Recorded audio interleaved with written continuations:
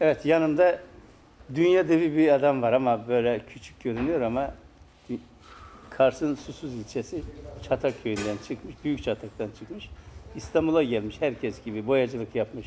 Hayatın her alanındaki zorlukları çekmiş ama başarılı bir hemşerimiz. Yazar olmuş, üç tane kitap çıkarmış, gazeteci olmuş. Ama en önemlisi ne olmuş biliyor musun? En önemlisi karatede dünya şampiyonu olmuş. Avrupa şampiyonu olmuş, Türkiye şampiyonu olmuş. Bu arkadaşımız adı Kamil Ucu. Şöyle ufak tefek olduğuna bakmayın. Madalyalarınızı görebilirsiniz. Şeyde, e, internetlerde görebilirsiniz. E, sanal alemde görebilirsiniz. Görsel basında görebilirsiniz. Çünkü e, dünya şampiyonu olurken her zaman Türk bayrağını dalgalandırırken binlercesini onu hem yanında hem de ekranları karşısında alkışlamışlar. Kamil'cim kısaca sizi tanıyabilir miyim? Ben 1972 Kars ili Susuz ilçesi Büyük Çatakköy doğumluyum.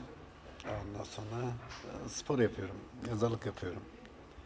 Spora girelim biraz. Nasıl oldu? Oradan sırayla başlayalım. Şimdi- Nasıl başladın bu işe? Ee, biliyorsun metropollere doğru bir göç var. Bu göç eden ailelerden birisinin de çocuğu benim. Ee, ilk İstanbul'a 1983'te geldiğimde e, şey yaptım. İşte ayakkabı boyacılığı yapıyorduk. Ondan sonra ailenin geçimine katkıda bulunmak için. Bir taraftan da okuyordum. O, okurken şey kahvelerin önüne falan gidiyorduk. İşte bu ayakkabı boyacılığı falan yaparken orada şey dövüş filmlerini falan seyrediyorduk. İşte Cüneyt Arkın'ın, Bruce Lee'nin. Ondan sonra öyle bir özentim başladı. Spora karşı bir ilgim başladı. Ve 1985 yılında ilk e, milli, an- milli Türkiye Milli Karate Antrenörü Hüseyin Küçük'ün yanında karateye başladım. Ee, bu süre zarfında üç defa dünya şampiyonu, Avrupa şampiyonu oldum. Ondan sonra e, sportif mücadelem bu. Türkiye Karate Federasyonu'nun e, hakemliğini yapıyorum. e, İstanbul bölgesinin. Ve Gölgedeki Hayat romanını yazdım. Ee, yazar olarak da. Baba Neredesin romanını yazdım. Ee, Şiirce Sevdam kitabını yazdım. Ya hayat bu Mustafa. Peki. Yani e, bu madalyalar alırken, dünya şampiyonu, Avrupa şampiyonu, Türkiye şampiyonu olurken, madalyalar alırken neler hissediyordun? Evet. Şimdi Dünya Shotokan Karate Federasyonu düzenlediği musabakalarda e, ben o musabakalara bireysel olarak katıldım. Kimsenin e, şeyi altında kalmadan, e, desteğini almadan kendi imkanlarımla katıldım. En son Arnavutluk Tiran'daydı. Dünya şampiyonu oldu. Ondan sonra orada yarışırken sen 70 milyonu burada hissediyorsun. Ve, ve burada o hissettiğin o yani kendi ülkeni, kendi bayrağını, o maneviyatını hissettiğin zaman orada dev gibi adamlar da çıkıyor. Kilon boyun olarak denk insanlar da çıkıyor ama orada senin kalbin var ve kalbin içinde milletin var. evet. Yani kürsüye o bayrakla çıkmak büyük bir onurdur. Allah bundan nasip etti. Ee, spor hayatıma eğitmen olarak da devam ediyorum. Böyle gidiyor. Spor Peki, yapmayı seviyorum abi. Orada yani. e, Avrupa'ya gidince oradaki Türkler, e, hemşerilerimiz desteğin oluyor muydu size? Ben bir şey söyleyeyim size. Ee, Arnavutluk Tiran'da mesela Turgut Özal e, Üniversitesi var. Ondan sonra ben göğsümde Türk bayrağıyla yarışma alanına girdiğimde herkes o Türk bayrağına şöyle bir bana baktılar, bayrağa baktılar, bana baktılar, bayrağa baktılar. Sonra yanıma yaklaşan şunu söyledi. Abi burada birinci kürsüsüne bayrağı taşı dediler. Ben buradan giderken zaten söylemiştim. O çok sevdiğim bir insan var. O insana söylemiştim. Ben o bayrağı kürsünün üstüne çıkarmaya gidiyorum. Allah nasip etti. Evet öyle yaptım. Öyle yaptım abi ya. Bundan sonra hedefler nedir artık? Dünya Şimdi bundan olmuş. sonra hedefim ne abi söyleyeyim sana. Bir kere bizim Türk gençliğinde spora karşı bir şey var. Ee, bir ilgisizlik var. Bunu canlandırmak istiyorum bir kere. Ondan sonra bizim kitaba karşı bir ilgisizliğimiz var. Bunu canlandırmak istiyorum. Türk gençliğini spora katılırsa eğer biz daha dinamik bir yapıya, daha verimli bir toplum olmaya gayret gösteririz. Uyuşturucu gibi, tütün kullanımı gibi kötü alışkanlıklardan gençlerimizi koruyabiliriz. Bizim Doğu Anadolu'dan, Güneydoğu Anadolu bölgesinden ya da Karadeniz'den ya da Ege bölgesinden göç edip İstanbul'a gelen ama İstanbul'da bu sosyo kültürel yapı içerisinde böyle modern hayata mı katılayım o gelenekçi yapıda mı kalayım gibi böyle bir bocalama devresi içerisinde ve bizim gençlerimize örnek olmak istiyorum. E, Gençler de beni seviyor. Geliyorlar beraber karate çalışıyoruz. E, Karate'deki bütün amacım onların fiziksel ve ruhsal olgunluğunu gelişmesine katkı sunmak. Ona ders de veriyorum. E, ben- 20 yaş üstü bayanlara mesela ücretsiz ders veriyoruz. Özellikle şiddete maruz kal, kal- e, şiddet olayları Türkiye'de bu son dönemde çok baş gösterdiği için kadınların kendilerini koruyabilmesi için onlara ders veriyorum. Ondan sonra sportif mücadele musabık sporcu olarak devam edecek. Ben son nefese kadar dövüşmeye yani mücadele etmeye, bu alanda mücadele etmeye ve o bayrağı temsil etmeye gayret göstereceğim yüksünmek istemiyorum. Ben aldığım bütün ödülleri arkada bırakıyorum. Yeni ödüller acaba nelerdir? Onlara bakıyorum abi böyle. Ne kadar ünlümüz var mesela Sinan Şamil Sam gibi. Yani biz, bizde çok başarılı sporcular var. Ee, hemen hemen her alanda başarılı sporcular var ama Türkiye'de bir sorun var Mustafa abi. O da şu. Amatör sporlara yeteri kadar destek verilmiyor. Amatör sporculara gerçekten bak şirketler destek vermeli, özel şirketler. Yerel yönetimler destek vermeli, e, hükümet destek vermeli. E, Bunlar yapılırsa amatör sporlar geliştikçe e, toplum daha çok spor yapacak. Toplum daha çok spor yapınca daha sağlıklı olacak. Yani böyle düşünüyorum abi. Peki Kars'taki sporu nasıl değerlendiriyorsun? Şimdi Kars'taki spora gelelim abi. Bütün haliyle yani. Evet bak. Ben dünya çapında karatede kendini kanıtlamış bir e, antrenörüm. Ruslar beni çağırdılar. Ben Rusya'ya gittim. Novosibirsk'e 9 saat uçakla gittim. Orada onlara karate dersi verdim. E, seminer verdim. Çıktım geldim. Onlar bizi keşfetmişler ve bizi oraya çağırdılar. Ama bizim Kars bizi keşfetmedi.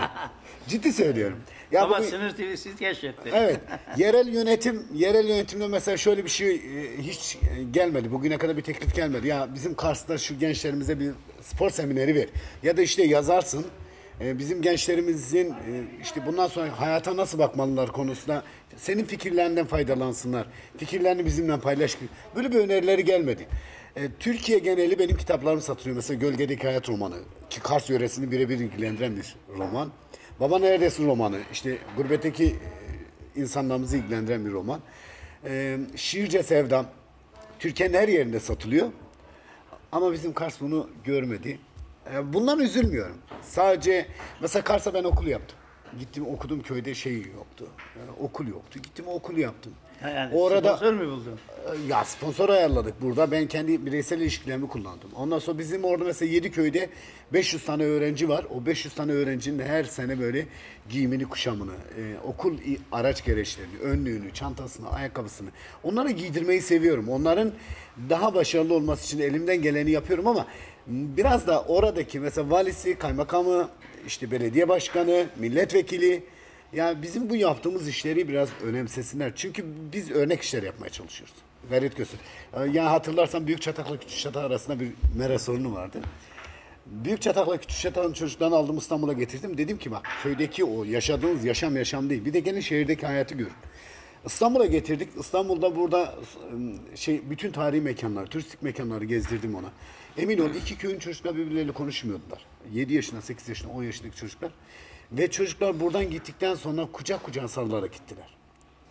Birbirlerine önce mektuplaştılar. Ondan sonra telefonlaştılar.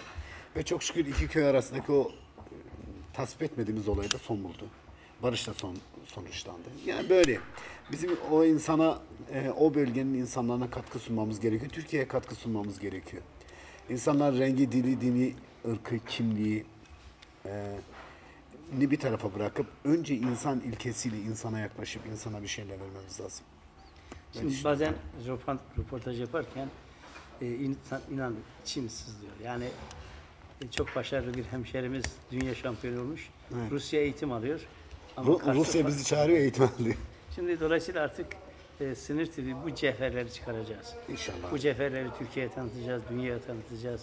Bu değerlerimizi ortaya çıkarmak için il il gezeceğiz. Yani gerçekten güçlü bir ekip kurmuşuz. Şu anda test yayını yapıyoruz. Amatörce çekimler yapıyoruz. Ama 1 Nisan'da canlı yayına geçeceğiz. E, yani 15 Nisan'da falan güçlü bir açılış yapacağız. Artık bölgenin umudu olacağız. Mustafa abi bir şey söyleyeyim. Şimdi Susuz ilçesi Türkiye'de ilk defa öğretmen yetiştiren öğretmen okulu. Yani Türkiye'de bugün modern hayata insanları hazırlayan öğretmenlerin hepsi Susuz öğretmen okulunda yetişmiş. Ve hayata bize rehberlik eden insanlar onlar. Topluma rehberlik eden insanlar onlar. Şimdi Susuz böyle bir değere sahip. Tamam. Biz Susuz'u yeteri kadar tanıtamadık. Kars keza öyle. Mesela Kars'ta Azeri var, Terekeme var, Kürt var, yerli var, işte Alevi var, Sünni var. Her mezhepten, her e, ırktan insanlar var ve herkes birbirine kardeş, herkes birbirine komşu. Tamam. E, Kars'ın o güzelim, o demokratik yapısını tanıtabilecek bir tane yayın organımız yoktu. Yayın organımız bu sonunda Sınır TV'yi gördüm. Ya gerçekten ben mutlu oldum. Evet ya Kars'ın niye televizyon olmasın? Kars'ın niye gazetesi olmasın? Kars'ın niye e, işte adı başka yerlerde duyulmasın? Ya Karslı iş adamlarımız var mesela e, şeyde e, 1 2 ve 3 Mayıs'ta şeyde e, Gürcistan'da Dünya Karate Şampiyonası'na katılacağım. Gene World Shotokan Karate Federasyonu düzenlediği e, Dünya Şampiyonası'na. E, Kars'ın iş adamlarının sponsor olmasını istiyorum. Kars'ın iş adamlarının bizim önümüzü açmasını istiyorum. Kars'ın iş adamlarının bizim vasıtamızla e, dünyaya tanıtılmasını istiyorum. E, sizin vasıtanızla dünyaya tanıtılmasını istiyorum. Sınır TV bu açıdan çok önemli. Mesela Karadeniz TV var. E, kendi kültürel yapılarını o kadar çok güzel işliyorlar ki benim o kadar çok hoşuma gidiyor ki. Ben Karadeniz'i daha yakından tanıyorum. E, Karadeniz'e gittim, gezdim, insanlarını biliyorum. Çok hoş, çok güzel insanlar. E, ama Kars'ın niye olmasın? Ege'ye gittim mesela Ege TV var. Her tarafta var. Yani her tarafın TV'si var. Yani Kars'ın iyi olmasın. Evet sınır TV abi. Sinir tabii. Bir, Başarılı olmalı. bir günde bir maçınızı ayarlarsınız şampiyonluk şeyleri. İnşallah abi. Sene sonra- beklerim abi. Özellikle geleceğiz söz. Valla Gürcistan'a beklerim. Evet Dünya bildiğiniz şampiyonası. gibi yani Kars Ardahan Iğdır'ın çok değerleri tanıtılmıyor, köşelerde duruyor. Çoğusu eğitimcidir, eğitim verecek durumdadır. Yani şu anda uluslararası çok büyük ülkeler eğitim için davet ediyor. Kamil Ucu gibi bir dünya karate şampiyonunu Rusya davet ediyor. Bunun gibi binlerce daha yeni Kamil Ucuları tanıdık. Nice Kamil Ucular var. Hayatın her alanında, sanatta, tiyatroda, siyasette, iş dünyasında. Dolayısıyla biz artık e, Sınır TV olarak bu cevherleri ortaya çıkarmak için gece gündüz çalışacağız. Efendim bize zaman ayırdığınız için size teşekkür ederim. Ben teşekkür ederim. Sınır TV'ye yayın hayatında başarılar diliyorum. Sınır TV'nin toplumun gelişmesi açısından önemli bir iletişim aracı olduğunu düşünüyorum. Yayın hayatınızda başarılar diliyorum abi. Sağ olasın.